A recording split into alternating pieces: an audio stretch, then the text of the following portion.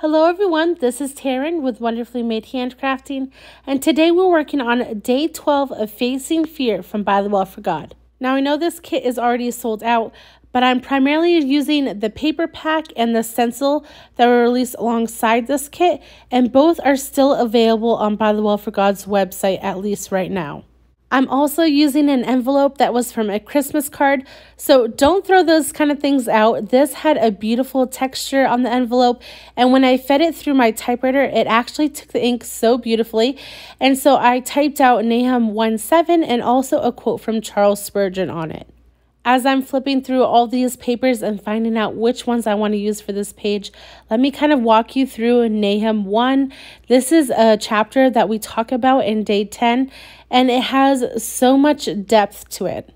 So, in chapter 1, we're basically given a prophecy of the doom of Nineveh, and this is about a 100 years after Jonah we see some really strong language and verses in chapter 1. In verse 2, we read, The Lord is a jealous and avenging God. The Lord is avenging and wrathful. The Lord takes vengeance on his adversaries and keeps wrath for his enemies. We also read that the Lord will by no means clear the guilty. It also says the mountains quake before him, the hills melt, the earth heaves before him, the world and all who dwell in it. In verse 6, Nahum writes, Who can stand before his indignation? Who can endure the heat of his anger? His wrath is poured out like fire, and the rocks are broken into pieces by him. And then we come to verse 7, and the tone changes. And it says, The Lord is good, a stronghold in the day of trouble. He knows those who take refuge in him. And these verses in no way contradict themselves. He is good. And because he is good, he is jealous and he is avenging. You don't want a stronghold or a refuge that is also apathetic because that simply wouldn't make sense. So, anyways, back to day 10 of this devotional. In verse 7, we see God's compassion and the future vindication of Judah.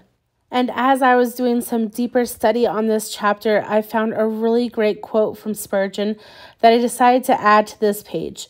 And Spurgeon writes, Remember that it is only a day. It is not a week nor a month, and God will not permit the devil to add an extra hour to that day. It is a day of trouble. There is an end to all our griefs. So, as you can see here, I've made quite a pile of papers. There are a ton of papers in this paper pack that I've just fallen in love with.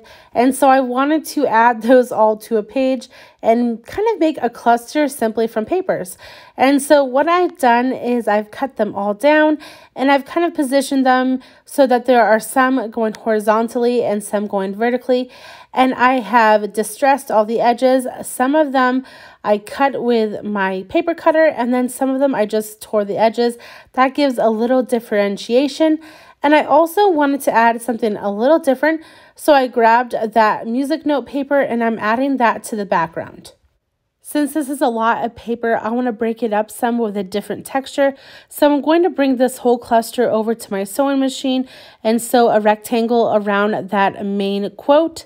Um, but first off, I want to make sure that everything is lined up nicely. And then I'm going to add a little squiggle of glue on each layer. Now, this is by no means meant to hold everything together in the long haul. The sewing will actually hold that all together. But that is what I'm doing simply so I can get it over to my sewing machine in the other room without everything falling apart. Once this is all glued down, I'll bring it to my sewing machine in the living room. Now I try to kind of follow the lines on that gingham print. I'm not the best at keeping a straight line with paper.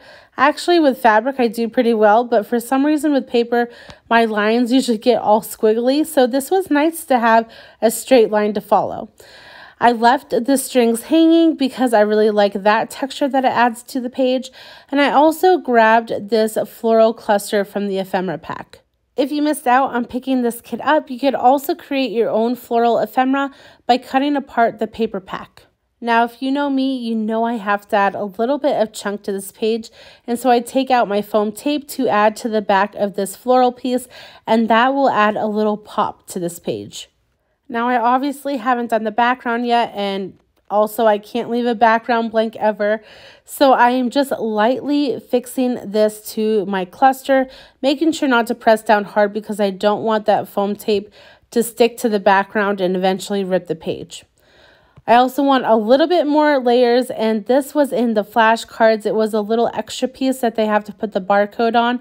And I really like how um, the pattern is shrunk down and so I decided to add that as a little tab to the bottom of the cluster. To add my date, I decided to use my Dymo label maker. I really like the look of this and I'm glad that I chose to use this instead of a date stamp. Now, originally I was hoping that Dymo label would fit on that tab, but the Dymo label maker has a very wide font, and so it's hard to fit any words onto a tab or whatnot, and so it ends up just being a tab for fun on the bottom half.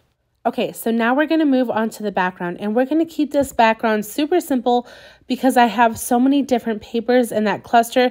I don't want it to be a distraction at all. So I'm blending out some tattered rose in the background, leaving a little space in the middle because I don't need to cover that area up because it's already covered up by the cluster and I'm trying to conserve my tattered rose.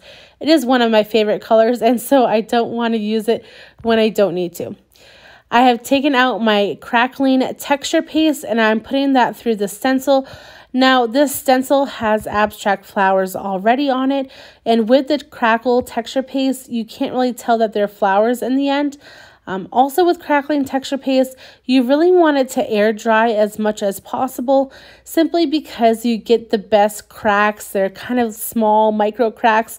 When you heat set it, it cracks very fast and you don't get those beautiful cracks. So always try to wait it out if you can. Honestly, personally, I waited it out about 20 minutes and then I resorted to my heat tool. So anyways, this floral stencil ended up looking more like lace with the crackle texture paste, which is totally okay with me. I ended up gluing this cluster down and then this page will be finished. If you've enjoyed this video, please like and subscribe to my channel. You can also follow me over on Instagram at Wonderfully Made Handcrafting.